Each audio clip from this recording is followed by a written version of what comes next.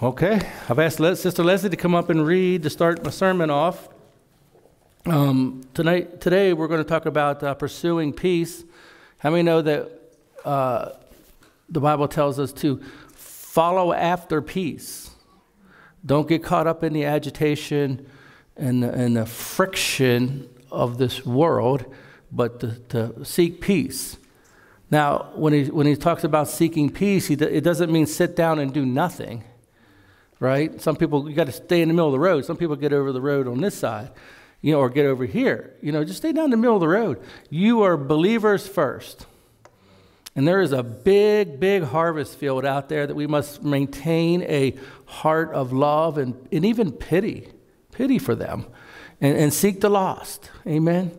And as we do, God will take care of all these other things that are going on in this world. And so Leslie's going to read a beautiful scripture on, on that. Good morning. And I was just uh, sitting there thinking as he was speaking over all the different ways of giving and serving and just loving, you know, what, what took place here this morning? What an act of love. I mean, God's presence is just so strong this morning. I mean, it's just got me, it's moved me. And I just want to thank Him. So, um, this is just, it, as He says, it's just a beautiful scripture. So, I hope you enjoy it. It's called Love One Another.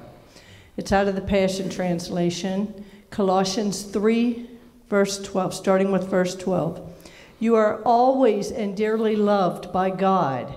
So robe yourself with the virtues of God, since you have been divinely chosen to be holy. Be merciful as you endeavor to understand others, and be compassionate, showing kindness towards all. Be gentle and humble, unoffendable in your presence with others. Tolerate the weakness of those in the family of faith, forgiving one another in the same way you have been graciously forgiven by Jesus Christ. If you find fault with someone, release this same gift of forgiveness to them. For love is supreme and must flow through each of these virtues. Love becomes the mark of true maturity. Let your heart be always guided by the peace of the Anointed One who called you to peace as part of his one body. Always be thankful. Let the word of Christ live in you richly, flooding you with all wisdom. Apply the scriptures as you teach and instruct one another with the Psalms and with festive praises and with prophetic songs given to you spontaneously by the Spirit to sing to God with all of your hearts. Let every activity of your lives and every word that comes from your lips be drenched with the beauty of our Lord Jesus, the Anointed One.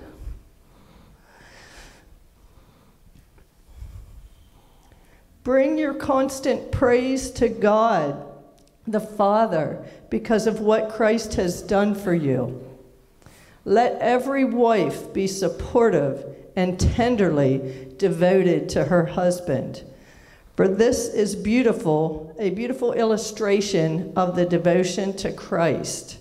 Let every husband be filled with cherishing love for his wife and never be insensitive towards her. Let the children respect and pay attention to their parents in everything, for this pleases our Lord Jesus. My eyes are watering a little bit. and fathers, don't have unrealistic expectations for your children, or else they may become discouraged. Let every employee listen well and follow the instructions of their employer not just when their employers are watching, and not in pretense, but faithful in all things.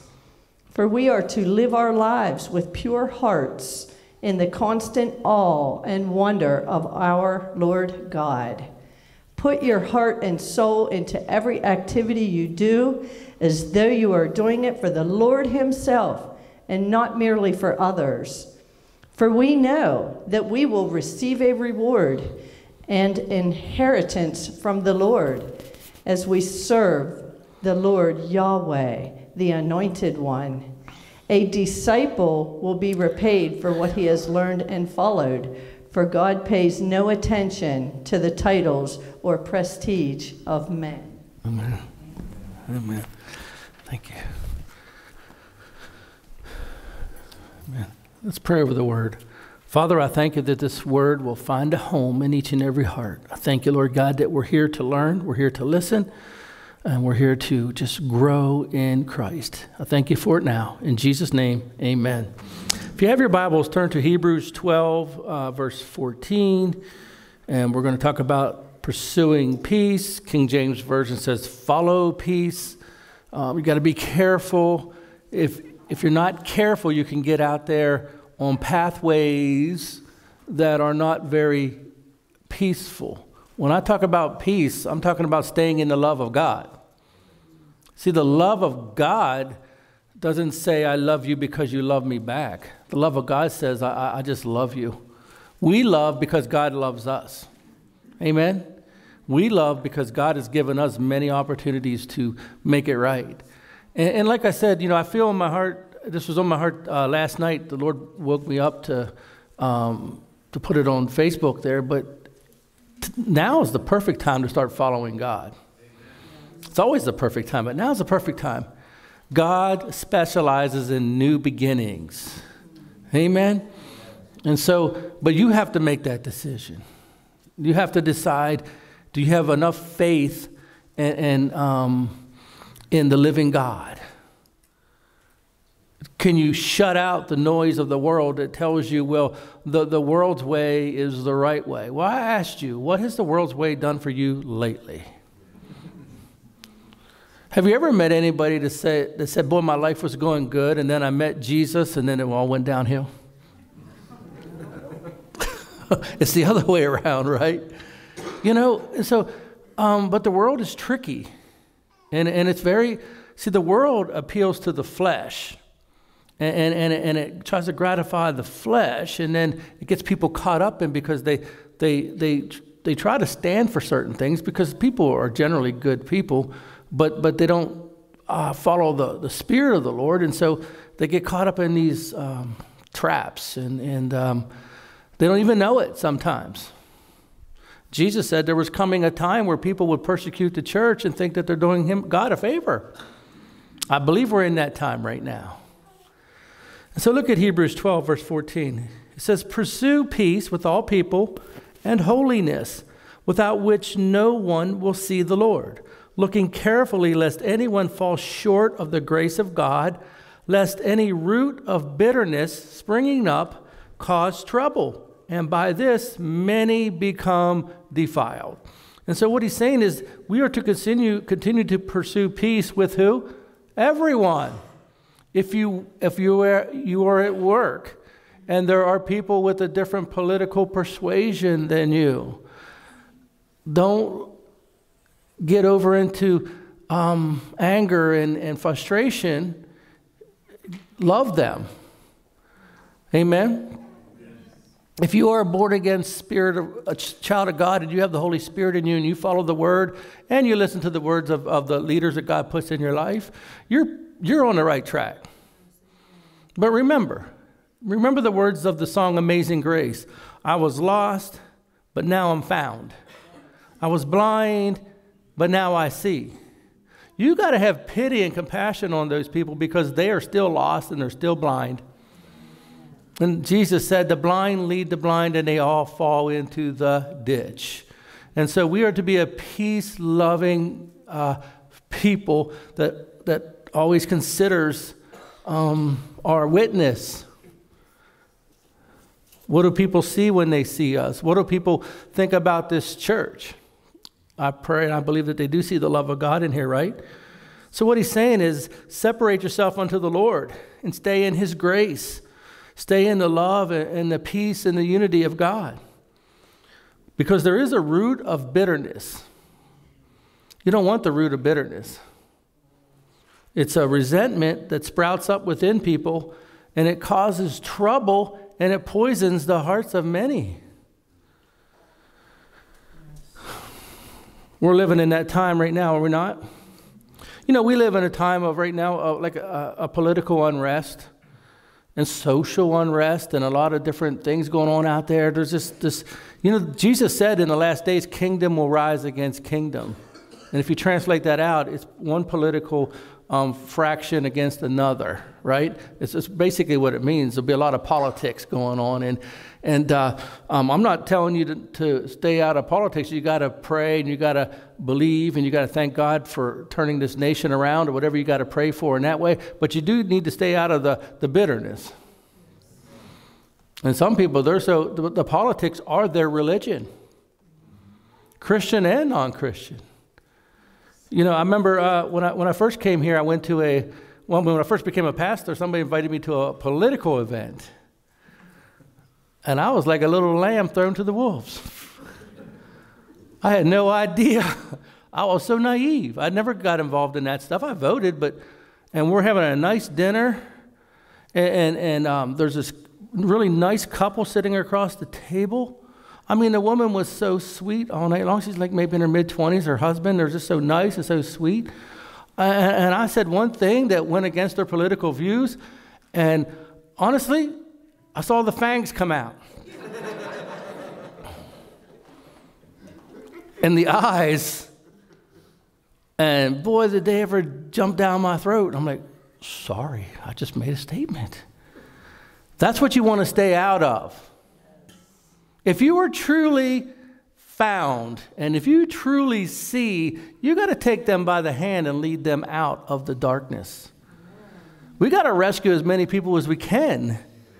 You have to have pity on these people because their minds have been bombarded. I'm talking bombarded by a spiritual, strong spirit of deception. They're getting it in the classrooms. They're getting it on the TVs. They're getting it everywhere. They're boom, boom, boom, boom. And it's hitting their minds, and now they're in a fog. You, you got to have pity on them. You know, when Jesus walked this earth, it was a time of political unrest.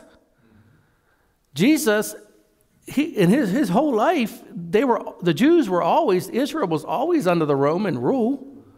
Remember when Jesus was born, Herod um, tried to kill all the firstborn, or he did, trying to get at Jesus. Jesus and his own family were exiled, had to run to Egypt. He knew something about political unrest, but he knew that he came to do the Father's business.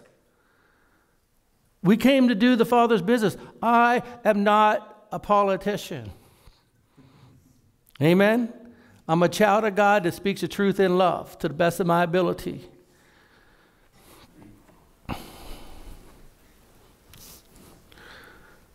You know, the Jewish uh, religious leaders, they sought to crucify Jesus, but they couldn't crucify him under their law. So what they did is they, they went to the um, Roman law. They, they used the Roman political system of their day to crucify Jesus. They took him to, uh, the, the Jewish leaders took him to um, Pilate, and they, they lied about Jesus. They said that he was an insurrectionist, which he wasn't. They said that he was trying to overthrow Caesar because that'll get you crucified. That will. They, don't, they didn't crucify common things. But when they said that, they were out to kill Jesus. And they used the political system and got the people all up in a frenzy and got them all out of their minds. And they literally chose Barabbas. Remember that? Pilate said you can choose Barabbas or you can choose Jesus. They chose Barabbas. Barabbas was, a, uh, was an infamous insurrectionist. He was, he was definitely trying to overthrow the Roman government, and he actually murdered people in the process. And now he's up there, and the people, because they weren't spiritually um, minded, they saw Barabbas as the answer live by the sword, die by the sword. The answer was Jesus Christ, the spiritual deliverance, right? It's always spiritual first, but they chose Barabbas. But the Jewish leaders put pressure on, on, on uh, Pilate and, and, the Roman leadership, and they, they said this they made this statement. Here's what the Jews said to um, Pilate If you do not crucify him, you are no friend of Caesar. You know what they were threatening? A riot. And Pilate gave in to that. He knew Jesus was innocent.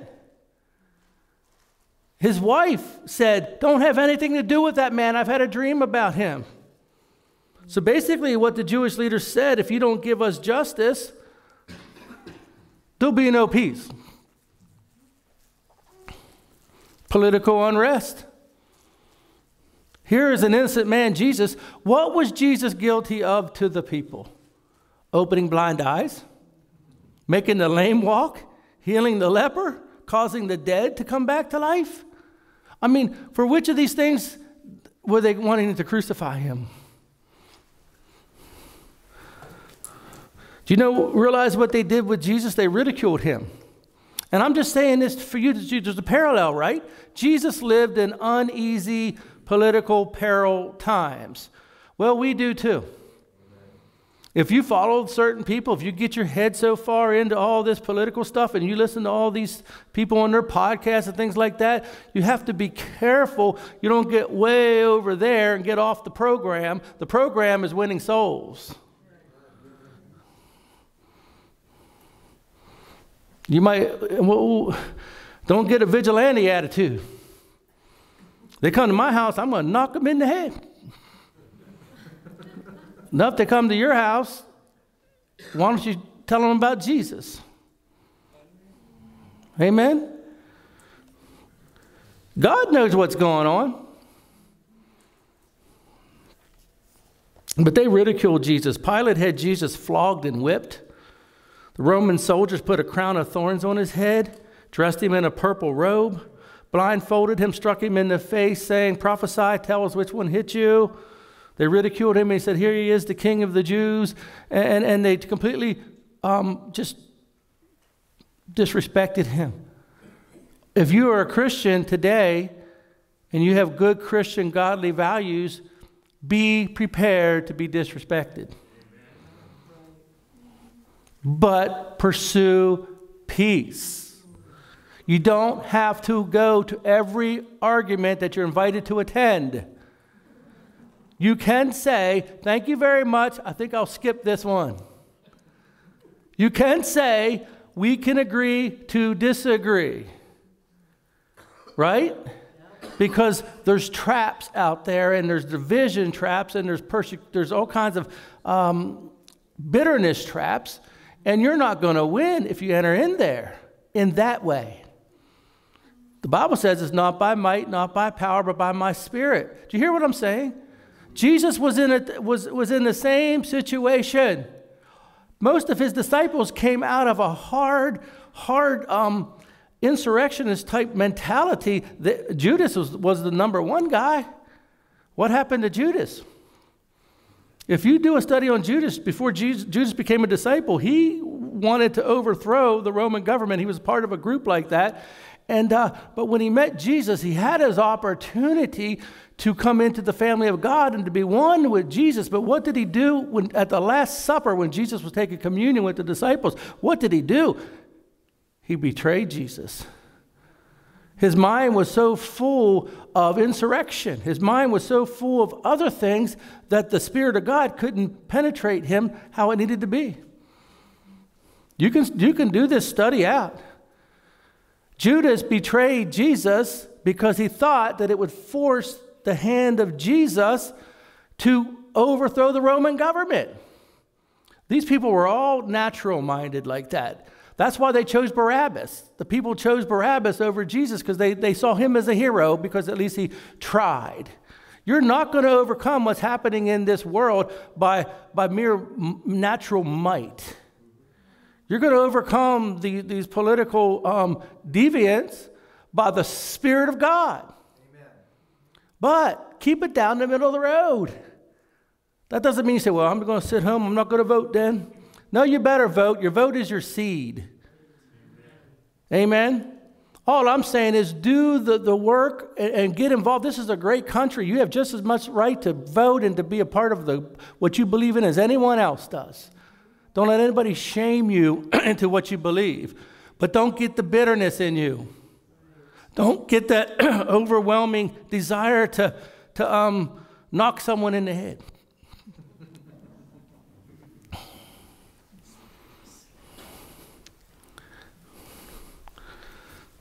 Is it that bad out there today? I would think so. I've had some women tell me, you know, pray for my husband. He watches TV and he watches the news and he yells at the news all day long.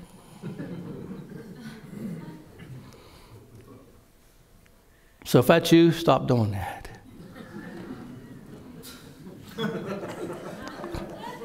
On top of the remote, there's a little button. You can hit that button and turn the TV off. Amen. I know it's hard to, to, to see what you believe in and what your country means so much to you and to see these things, but you know what? Don't get caught up in all that.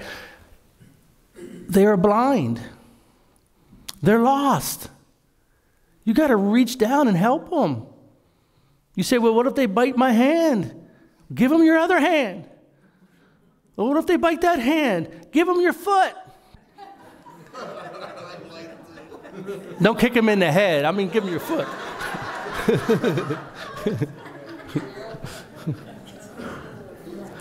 I want to I want to tell you something. I didn't know which way the Lord was going to have me go, but I've seen political people on both sides of the spectrum. I've seen those that are more conservative, that believe like sort of like where, where most of us, a lot of us believe, and I've seen some that are clearing over on the other side.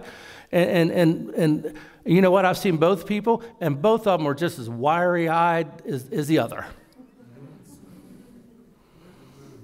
And they're coming up with these things. And then these, these, oh my goodness, your life would be a lot easier if you just go out and win someone. Jesus walked through the middle of Roman rule and built the church. And you know what he said as he was dying on the cross? Father, forgive them. They don't know what they do. Don't get caught up. Don't let that bitterness get into you. Do you see what I'm saying? When you're at church, it's not a good time to discuss politics. Let's discuss Jesus. And when you're at church, it's not a good time to talk about vaccine or non vaccinated. Just, just love people. Let's make it be about God. You're entitled to your own opinions, but other people might not agree with you in certain areas. It's their right to agree, to, to, to disagree. It's your right to believe how you believe. When you come into church, you should have a sparkle in your eye. You should smile so much that your face hurts when you go home.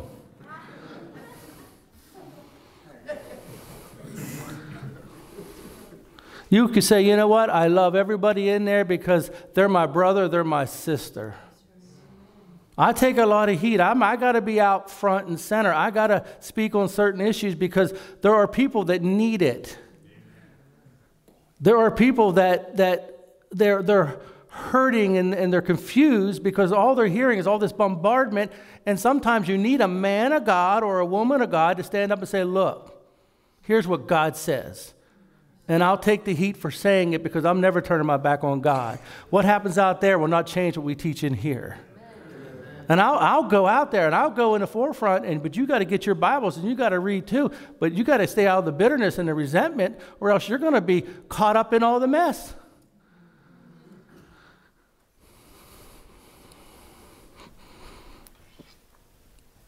And then you're going to be in fear. Right? We don't have to be afraid of anything. Jesus is our Lord.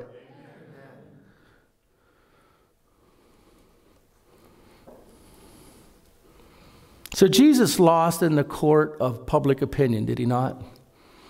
The, the Pharisees and the Sadducees got the people all in a, in a frenzy and um, got in their head. There's, there, the great, right now, Christianity in the United States of America is losing in the court of public opinion.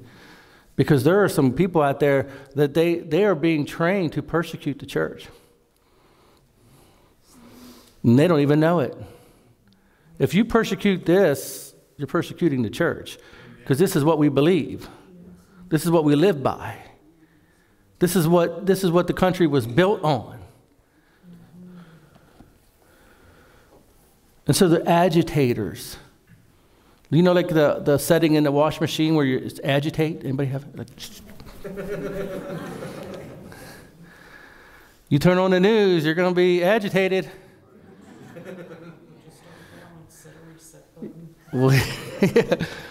or, or Jesus said it like this to Peter He said, Satan has desired to sift you as wheat. How do you think the devil's going to try to get into your head and your mind? Do you think he's going to show up at your house with horns and a pitchfork and smoke coming out of his nose? I'm the devil. Thoughts, ideas, and suggestions, deception. He's going to try to get into your mind and get into your heart. If you don't guard your heart, he's going to make you bitter. Bitter. There's some people that are bitter with me because I speak what the Word of God says. And the Lord says, okay, that's okay because you're not standing before them when it's all said and done. You're standing before me. I couldn't live with myself if I didn't tell you the truth. And you know what the truth is? And these people that are bitter against me, I'm not bitter against them, but how many of them have ever come and said, let's look at the Bible, let's see what the Bible really says? How many of them? Zero.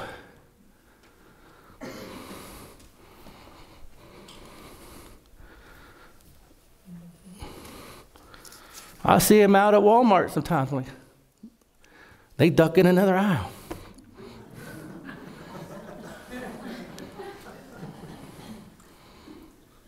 you know what? I refuse to be offended.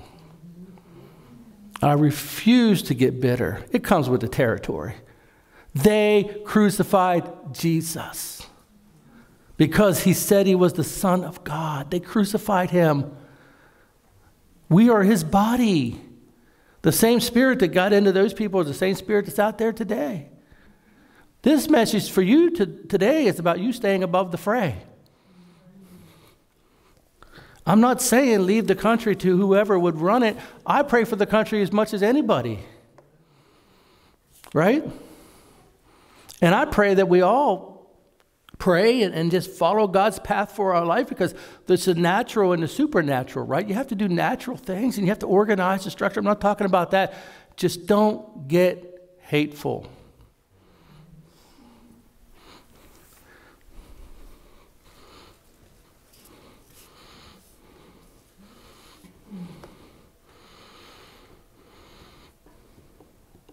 So I had written this down in my sermon. We need to be a people of love and faith, faith to reach the harvest of lost souls. Take it easy on them. Have pity on them. They've had their minds hammered by people under satanic influence who know how to push every button. Amen. Look at Acts chapter 1, verse 6. I want to go over here because I want to show you, and I'm trying to build a, a case with you that Jesus built his ministry in the time of political unrest. And the disciples struggled with that balance the whole way through. Even until Jesus got caught up into the heavens, the disciples were still looking for a natural, physical way to overthrow those evil Romans. They were, they were, they were still thinking that it was going to be a natural type way. I want to tell you something about our country. If we don't get God's house, help, we're sunk. We are sunk to the bottom of the ocean. So you might as well start praying and believing and thanking Him for the miracle.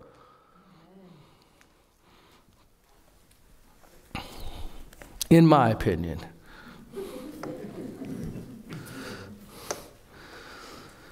So look at this. In Acts chapter 1, Jesus died on the cross. He rose from the dead. He's given last minute instructions to the disciples that he's going to be taken out of here. He's going to go up to the right hand of the Father. And, and, and look at this. He's had these disciples for three and a half years. Many people miss this. Look at this. Acts chapter 1, verse 6. And they therefore were come together, and they asked him, saying, Lord, wilt thou at this time restore again the kingdom to Israel? You thought they were watching bad news. I'm going to try to be good. I'm not going to name no news stations. I mean, Jesus just told them, go to Jerusalem, wait, you're going to get the promise of the Spirit, you're going to have the power of God. And they're like, Are you going to just restore Israel, man? Are you going to kick some Roman butt? Are you going to deliver us by might?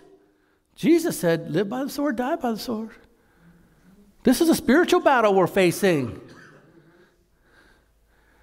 Do you think, you Republicans in here, do you think that the Democrats are the only ones? Are you kidding me? There are a tremendous amounts of Republicans. They need to be replaced. Amen.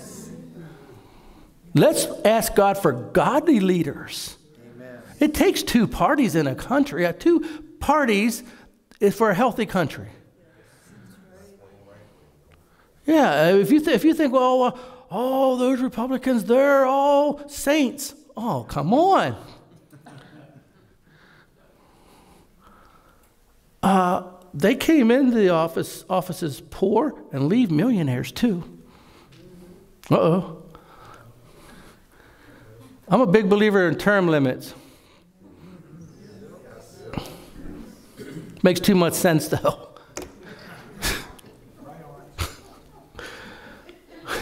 uh, let's keep this people out of this this person out of office for 30 years so they don't build up these unrighteous, unbeneficial alliances with other countries.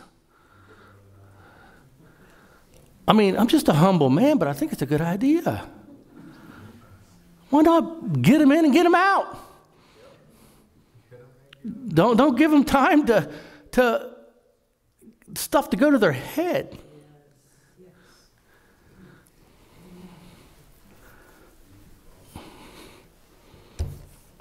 So they asked this question and you know, our, our loving Savior is so kind and so patient. If it had been me, I might have said, You knuckleheads. what are still talking about that for? Didn't you see what happened to Judas? Judas, Judas got so remorseful when he saw that Jesus was not going to do what he thought he was going to do, and he hung himself. 30 pieces of silver. But Jesus was kind. He's more kind and patient than most of us. Look what he said in verse 7 And he said unto them, It is not for you to know the times or the seasons which the Father has put in his power. So he's saying, okay, that political stuff and that restoring of Israel, it, it, it's in the Father's hand right now. I'm talking to you about building my church. That's a kingdom too. The president is not my God. I have a God. We have a president of the country. And we have leaders in the country, but they're not our God.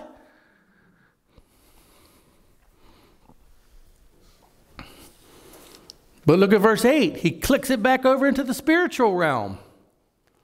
He says, But you shall receive power. That's the Greek word dunamis supernatural power will be in your lives. If you don't have a root of bitterness, and if you're trying to win the loss instead of trying to, to um, knock the lost in the head or win an argument with them, right? He said, You will receive power after the Holy Ghost has come upon you and you shall be witnesses unto me both in Jerusalem and Judea and Samaria and to the uttermost parts of the earth. That's what it's always been about taking the power of God and being a witness. I can win a Democrat to the Lord and I can win a Republican to the Lord. I can win an independent to the Lord if they're open, the, because the power of God, the dunamis, is on me and you. And when you speak the truth in love, and you, you can say, you know what, let's put all that political stuff aside. I want to talk to you about, about your soul. I want to ask you where you are with Jesus Christ. You know what you'll probably be? You'll probably be some grandmother, some grandmother's answered to her prayer, who's prayed for the, these, her family, and she's done left the earth now, but her prayers are still here. You could, you could answer that call. There's all kinds of prayers out there. These wonderful men and women of God that have gone on, they still have loved ones here.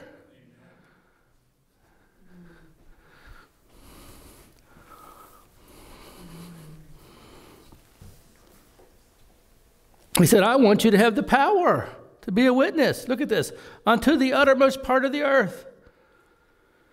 Look at verse 9. And when he had spoken these things, while they beheld, he was taken up, and a cloud received him out of their sight. And while they, they looked steadfastly toward heaven as he went up, behold, two men stood by them in white apparel, which also said, Ye men of Galilee, why stand ye gazing up into heaven? This same Jesus was just taken up from you into heaven shall so come also in like manner as you have seen him go into heaven. Yeah, that's right. Jesus is coming back. Right? He's coming back.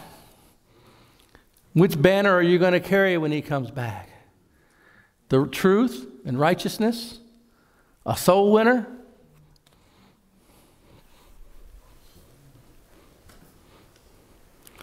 I'm going to close with this. The Bible mentions two sisters Mary and Martha. Martha um, got on Jesus because he did, he, she wanted him to tell Mary to help her serve. Anybody remember that, that account? And, uh, and uh, Jesus said this to Martha. He said, Martha, Martha, you are troubled about many things. But Mary has chosen that good part which will not be taken from her. If you look at the word troubled, it's the Greek word tribrazo. What he was saying is it's not just this instance, this incident here that makes you troubled, Martha. You are a troubled soul.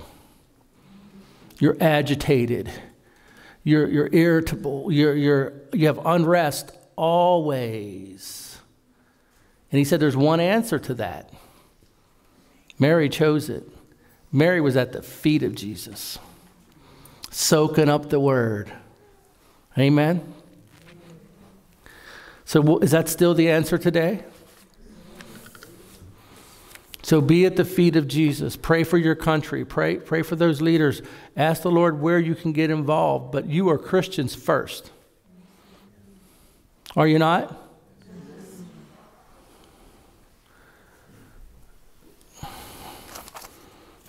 I remember when that stuff happened down in January 6th, where people went into the Capitol and all that stuff. And I don't know what they were thinking. But I was watching that. On, on um, some people were live streaming it, that whole event down in D.C., where the president spoke. You know what you saw mostly? Because there's people walking through the crowds. You know what you saw? Christians there singing songs. Honestly, you can Google it they were singing songs, these, these, these, these, these little church ladies. Then they had this group of, of, of, of Chinese, I think they were from, from uh, California. They came the whole way out and they were preaching the word, and people were getting up and talking about Jesus. And, but then there was also other sorts of people there too. It was the weirdest thing. I could I, I, I didn't know all that stuff was going to happen, but I could see, oh, there's two types of people with the same, like they, they want the same thing, but some want to live by the sword.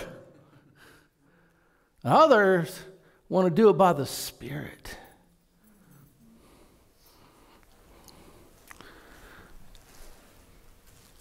Do everything you can do to walk in love and, and to be a peaceful people, and God will do the rest. Amen. That's all I have. Would you rise, please?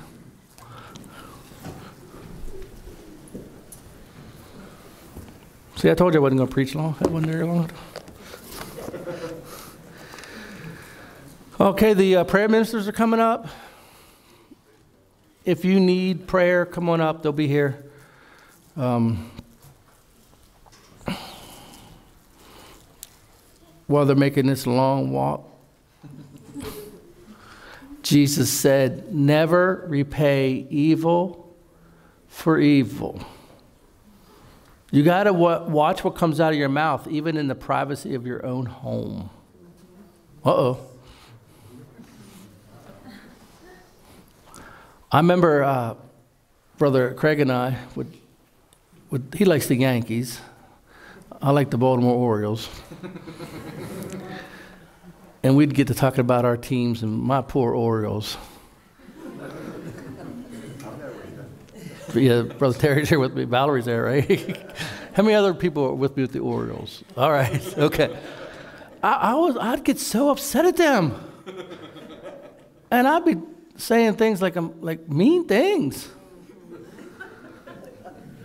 That's Craig. He's my witness. and you know what the Lord said? You better watch that. You better watch your heart. On a dumb sports team. And I've tried since then, I ain't saying nothing about them. Let them be them.